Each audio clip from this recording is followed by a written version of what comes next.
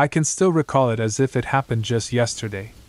I was working at a camp in North Georgia, right in the middle of the Appalachian Trail. The town of Dahlonega, where the trail starts, was very close. This place was also famous as a training spot for the Army Rangers, which made our camping trips even more thrilling. One summer, we planned to take the kids on a night walk. The weather was cool, the sky was clear, and the stars were shining brightly. It was the perfect night for cowboy camping, sleeping under the sky on a tarp, without any tents.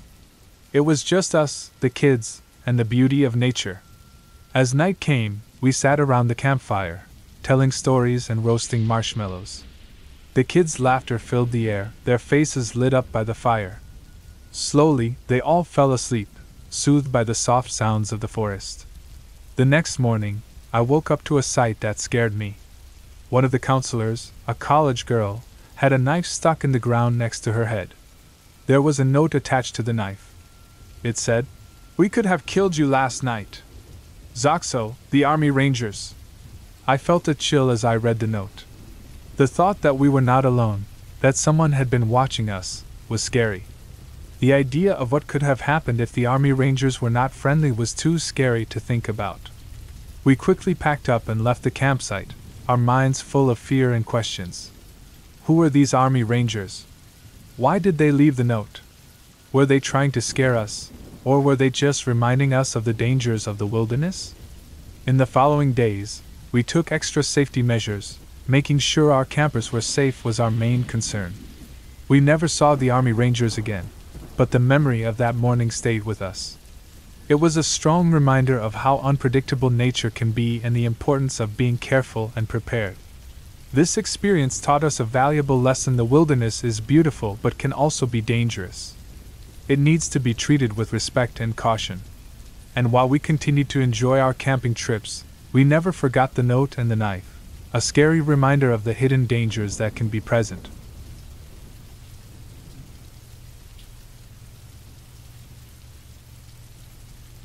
In the summer of 2011, my friend and I decided to go on a three day camping trip to Beaver Lake, near Bolivar, Missouri. We spent the whole morning walking around, looking for the best place to set up our tent. After a quick nap, we were ready to go fishing. As we walked by the lake, we saw something strange. There were lots of fish bones and dead turtles on the shore. It was a scary sight. But we still decided to go ahead with our fishing. We waited for hours, but no fish bit. We were disappointed and decided to stop for the day. We went back to our campsite in the woods next to the lake. Usually, you would hear the sounds of animals at night an owl hooting, leaves rustling as animals moved around, the distant howl of a coyote. But that night, it was silent except for the occasional sound of an insect. The silence was creepy, and we didn't sleep well. The next morning, it was still quiet. There were no birds singing, no sounds of squirrels, it was like the forest was empty. We realized that the lake, which should have been full of life, seemed to have killed all the animals. We had a hard decision to make. We only had enough water for the first night, and we didn't want to use the lake water. Feeling sad, we decided to pack up and leave early. As we drove away from Beaver Lake, the silence of the woods stayed in our minds. The trip was a strong reminder of how delicate nature is, and how important it is to respect it. It was a camping trip we would never forget, a scary adventure that taught us the importance of respecting nature. The memory of the quiet woods and the dead lake still stays with us, a creepy reminder of the silence that can fall on nature.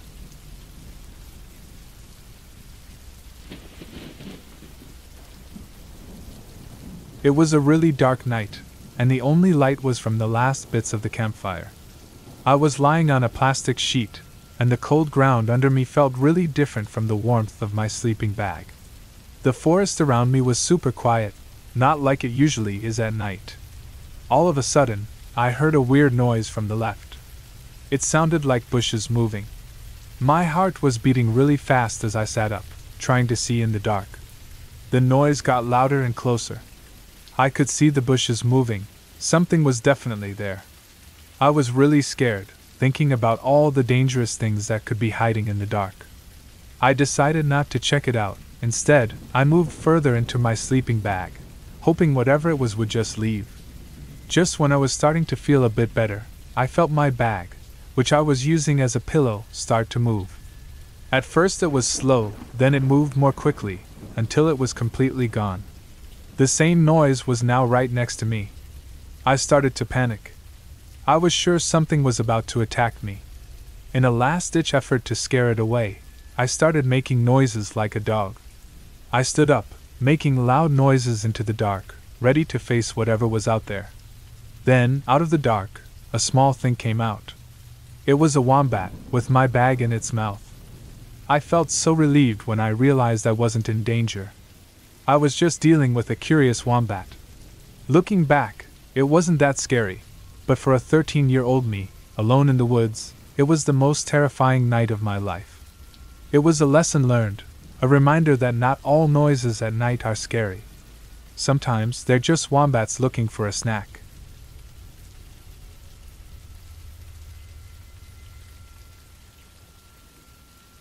I always enjoyed going camping, especially at the Rocky Mountain High campsite in Colorado.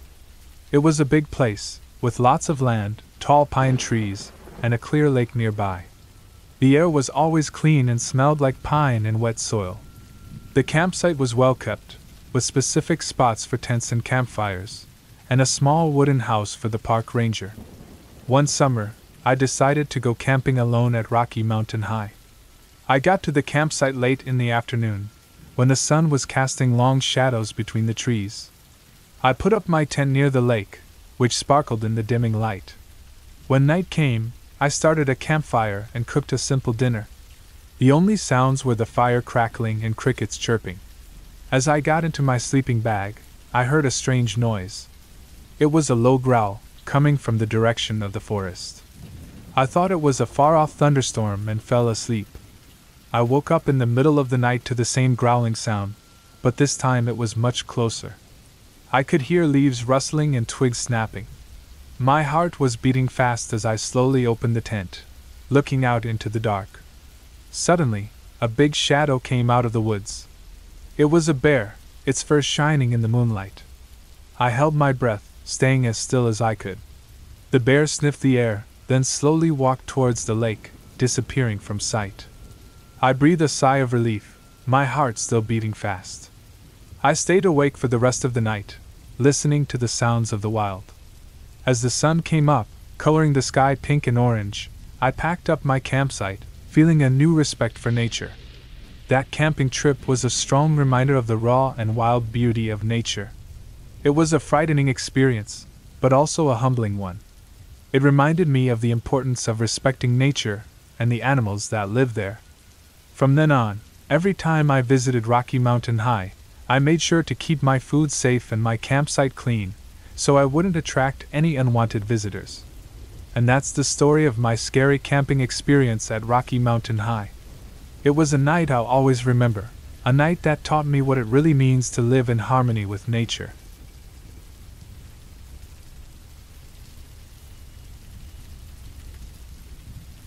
We went on a three day camping trip near Lake Erie in Canada. The first day was fun. We set up our tents, gathered wood for the fire, and checked out the area. The peaceful lake was a nice view from our campsite. On the second day, my friend started feeling sick. He had a bad stomach, maybe from something he ate. When it got dark, he decided to wash up in the lake. We were watching him from a nearby hill, making jokes and laughing. Suddenly, he was gone. It looked like something pulled him under the water. We thought he was joking around, but when he didn't come up after a minute, we got scared. Then, he came out of the water, yelling really loud. He was far from where he went under. He ran out of the water, looking really scared. He kept saying that something grabbed his leg and pulled him under the water. We spent the rest of the night scared, sitting close together near the fire. Every noise, every ripple in the water made us jump. We were really scared. The next morning, we packed up and left as fast as we could. The beautiful lake that we liked so much before now seemed scary. I'll always remember how scared my friend looked when he ran out of the water. We still don't know what happened that night. My friend is sure that something in the lake tried to pull him under. We didn't see any animals in the lake, but we can't explain what happened. We know we won't be going back to that lake again. That camping trip was supposed to be fun, but it turned into a scary experience that we'll never forget. It reminded us that nature, while beautiful, can also be scary and unpredictable.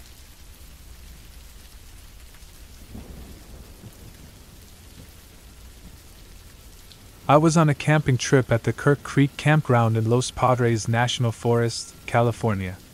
This is one of the top camping spots in America, where the sea meets the forest. The campsite was huge, with lots of trees providing both sun and shade.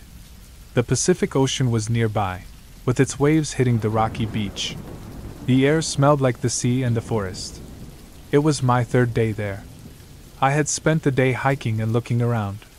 As the sun went down, turning the sky orange and pink, I went into my tent, with the sounds of the forest helping me fall asleep. I woke up in the middle of the night. The forest was very quiet, without the usual sounds of crickets and owls. I felt a bit scared.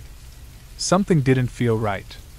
I opened my tent and went out, using my flashlight to see in the dark. I saw something moving near the forest. My heart was beating fast as I got closer. It was a deer, its eyes shining in the light from my flashlight. I breathed a sigh of relief. It was just a deer. Then I heard a noise behind me.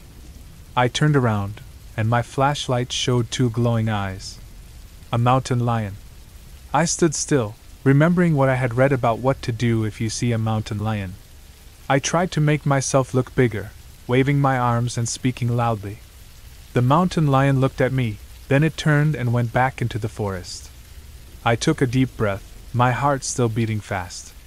I went back to my tent, feeling the rush of adrenaline slowly fade away. I was safe. I was alive. I stayed awake for the rest of the night, listening to the normal sounds of the forest. When the sun came up, I packed up my stuff, my heart still beating fast from the encounter with the mountain lion.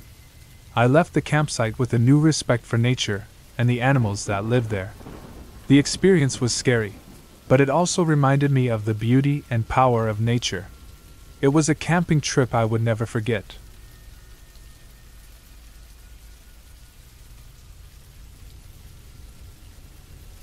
It was a cool summer night in England.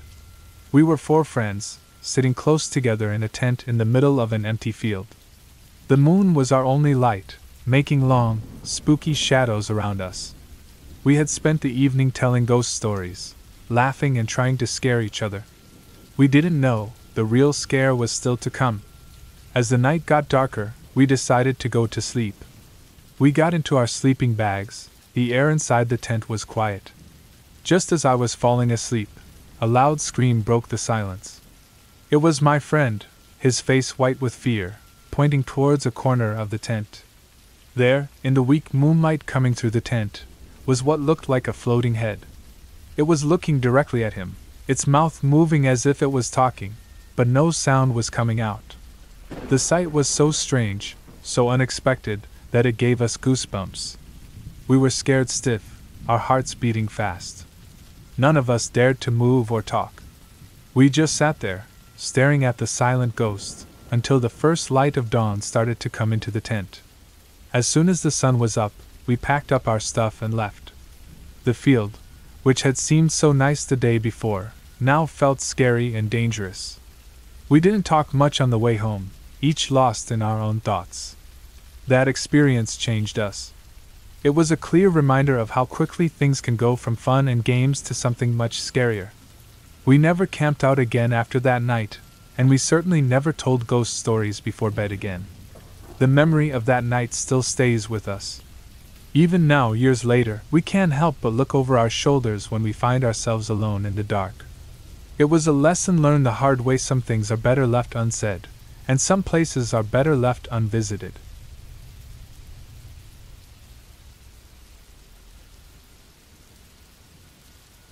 I was living in Ohio and decided to take a break and go camping. I picked Mohican State Park, a popular camping place in Ohio. The park was a beautiful, quiet place, perfect for getting away from the busy city life. The camping spot was in the middle of the park, surrounded by tall trees and the soft sounds of nature. It was a big spot, with enough room for my tent and a small fire pit. The air was fresh and cool, smelling of pine and wet soil. One day, I decided to rent a cabin in the woods for a change. The cabin was old and simple, made of worn out wood that fit right in with the forest around it. It was a basic cabin, with one room and a small porch that looked out over a calm lake. The first night in the cabin was peaceful. I fell asleep to the sound of crickets and the rustling of leaves in the wind. But the peace didn't last.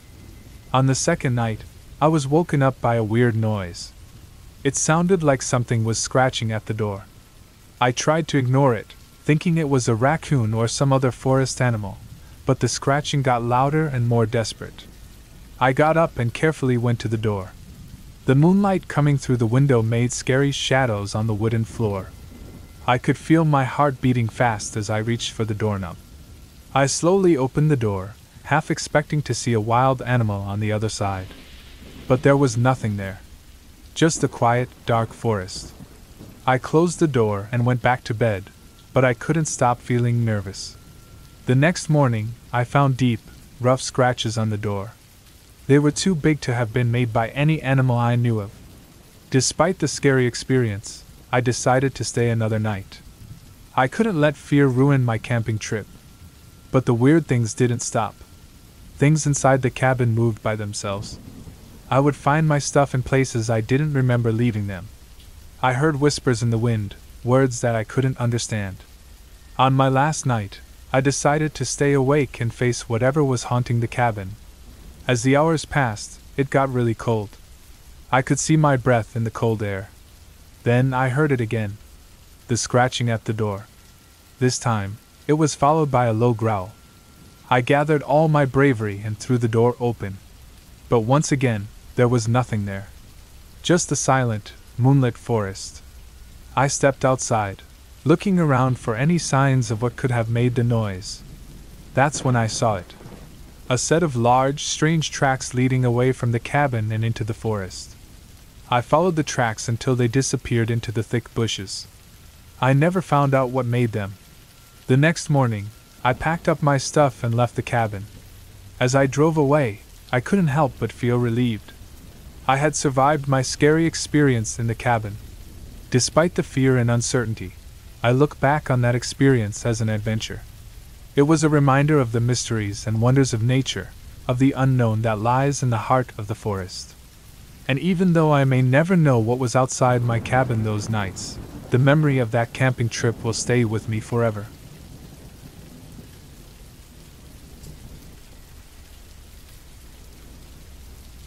I always wanted to see the wild side of Alaska. So, I decided to rent a cabin right in the middle of it. I picked Riley Creek Campground, one of the top camping spots in Alaska. It was close to the entrance of Denali National Park, a place famous for its amazing views and different types of animals. The camping spot was big, with many cabins spread out, each one private and quiet. The campground was a mix of thick woods and open fields, with the big Mount Denali in the background. The air was fresh and smelled like pine trees and wet soil. The cabin I rented was simple, made of logs and had a small front porch. Inside, it was comfortable with one room that had a bed, a small cooking area, and a wood burning stove for heat. It was simple, but that's what made it nice. The first few days were calm. I spent my time walking around the campground, fishing in the nearby stream, and at night, I would sit by the fire outside my cabin, looking at the stars. But then, things started to feel weird. One evening, when I was coming back from a walk, I noticed my cabin door was a bit open. I was sure I had closed it. Inside, everything was as I had left it. I thought maybe the wind had opened it. The next day, I found my food all over the cooking area floor. This was odd because I had kept them in a locked box. I cleaned up, thinking maybe some animal had somehow gotten in. That night, when I was in bed, I heard a soft scratching sound from outside. It kept going and seemed to be moving around the cabin.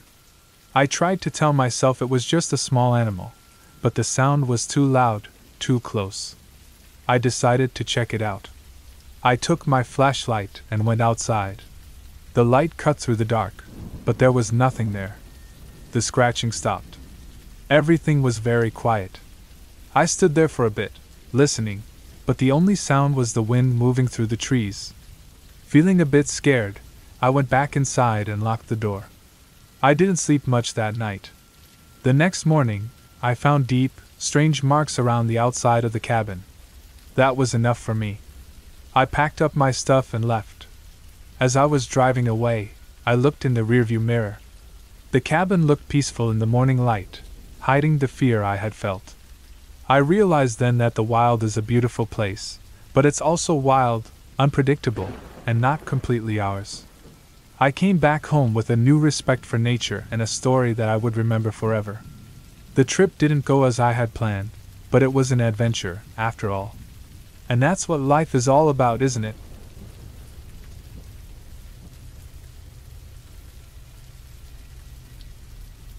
I've always loved going on adventures. So, when I had the opportunity to rent a cabin in Colorado, I jumped at it. The place was known as America's Best Campground, located right in the middle of the Rocky Mountains. It was a huge area with tall pine trees, a clear lake, and the beautiful Rockies all around. The air was clean and smelled like pine and flowers. The cabin I rented was simple but cozy, made of logs and located on a small hill with a view of the lake. It was quiet and peaceful, just what I needed. The first few days were calm.